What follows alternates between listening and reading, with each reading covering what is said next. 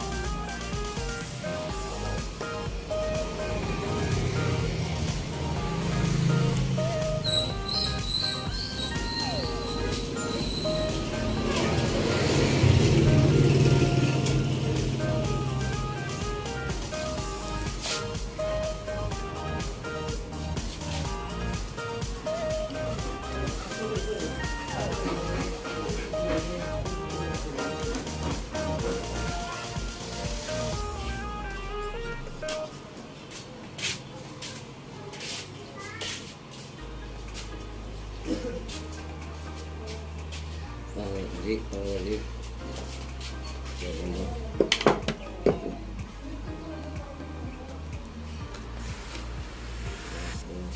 Lagay dyan. Oh, tawag mo dyan. Oh, gano'n? Eh, spring. Oh. Yung gulo. Spring mo. Eh,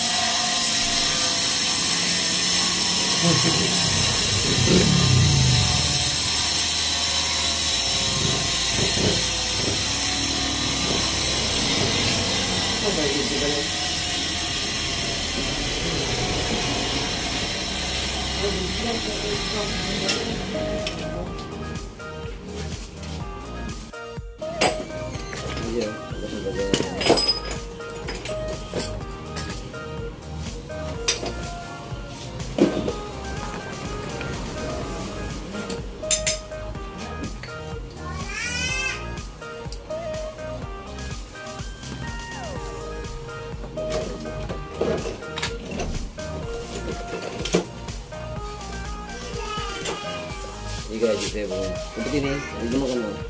Ayun sa plano.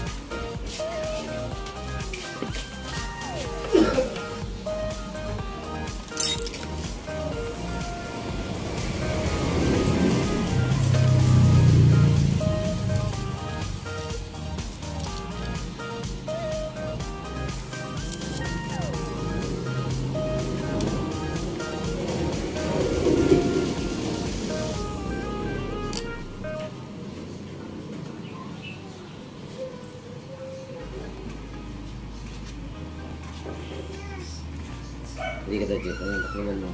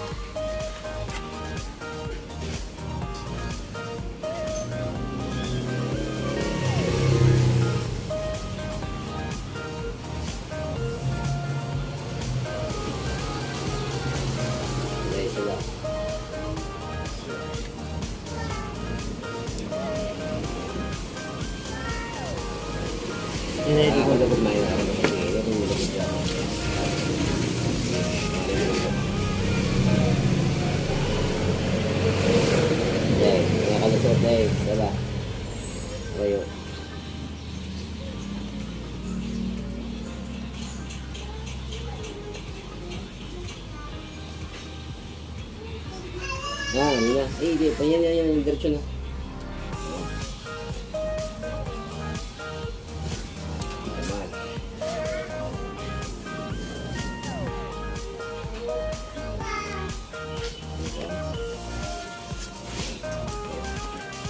Thank you.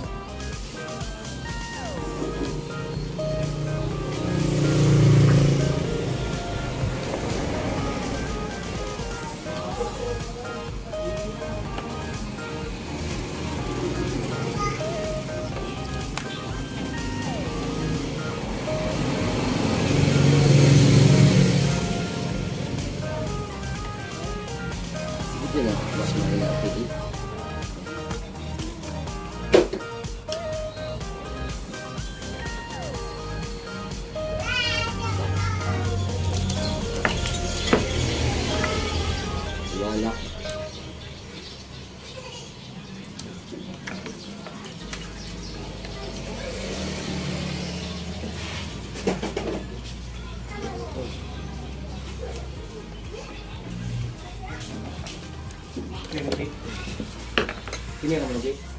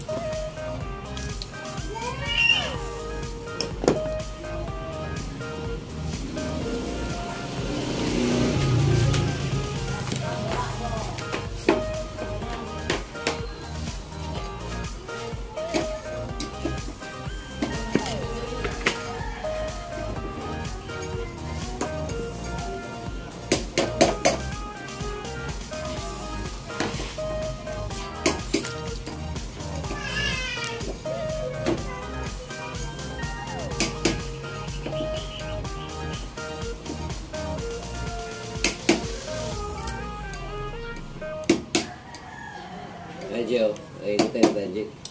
My God.